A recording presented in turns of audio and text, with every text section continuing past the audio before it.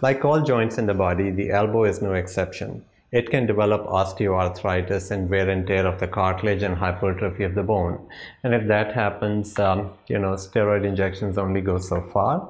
We can use uh, regenerative medicine techniques uh, such as uh, growth factors, we can use uh, stem cells, we can use uh, umbilical cord uh, blood and umbilical cord cells and matrix products and they can make a world of difference. So if you're considering operation or your life is miserable because of elbow pain from osteoarthritis consider regenerative medicine instead of dealing with the pain too long or looking at surgery.